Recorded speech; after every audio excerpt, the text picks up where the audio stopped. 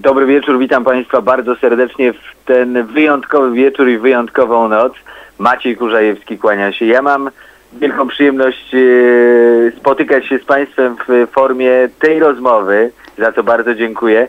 E, Jestem duchem obecny z Państwem, ciałem niestety we Wrocławiu, gdzie relacjonuję i prowadzę Sylwestrową Noc dla widzów programu drugiego Telewizji Polskiej, ale bardzo się cieszę, że mogę zabrać Państwu chwilę w Białobrzegach właśnie z tego wyjątkowego wieczoru i nocy, dlatego że to jest miejsce szczególne i ja się bardzo cieszę, że to miejsce o tak znakomitej sportowej historii tak doskonale bawi się w tę noc. Państwo zapytają, cóż to za znakomita historia? No wystarczyłoby podać zaledwie kilka nazwisk, by y, dać obraz tego, jak y, wspaniałe nazwiska, jak y, znakomici, świetnie utytułowani sportowcy pochodzą przecież państwa rodzinnego miejsca z Białobrzegu, choćby Zygmunt Siedlecki, wieloboisty olimpijczyk z Los Angeles, to jest odległa historia, 1932 rok, ale nazwisko, które złotymi zgłoskami zapisało się w historii polskiego sportu.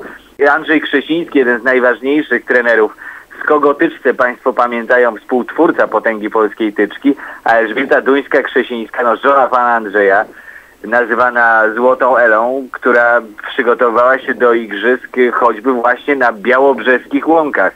Jeśli jeszcze dołożę do tego Stanisława Krzesińskiego, olimpijczyka, zapaśnika, wieloletniego trenera kadry narodowej w stylu klasycznym, to mamy kompletny obraz, ale tych nazwisk jest jeszcze kilka. Jest Jacek Kasprzak, to y, przedstawiciel najpopularniejszej dyscypliny sportu, czyli piłki nożnej, wieloletni piłkarz pierwszej drużyny Legii Warszawa, wielokrotny mistrz Polski, czy choćby jeszcze jedno tylko nazwisko dołożę, Sebastian y, Przyrowski, bramkarz y, kadry narodowej. Szanowni Państwo, to są nazwiska, które tylko umacniają nas w przekonaniu, że nie ma lepszego miejsca, żeby myśleć o sporcie, żeby rozmawiać o sporcie niż właśnie Białobrzegi. Dlatego ja się cieszę, że mogłem Państwu urwać tych kilka dosłownie chwil y, z tego wieczoru i życzyć chciałem w tym momencie wyjątkowego 2011 roku, aby to był rok, który nam wszystkim przyniesie wielkie sportowe emocje. A jestem przekonany, że y, udziałem tych emocji będą e, sukcesy polskich sportowców, którzy staną na wysokości zadania i dostarczą nam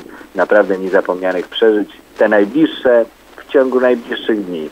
Adam Małysz w turnieju czterech skoczni, Justyna Kowalczyk w Tour de Ski, czyli tej pierwszej ważnej imprezie przed Mistrzostwami Świata w narciarstwie klasycznym. Myślę, że to nie tylko będzie początek roku dobry dla nas sportowo, ale i cały 2011 rok. Życzę Państwu doskonałej zabawy. Raz jeszcze dziękuję, że miałem szansę się z Państwem spotkać i życzę fantastycznej sylwestrowej nocy i doskonałej zabawy do samego rana. Wszystkiego dobrego.